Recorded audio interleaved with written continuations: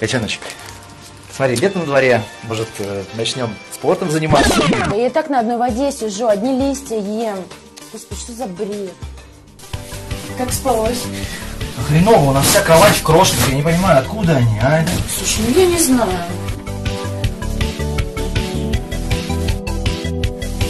Лис!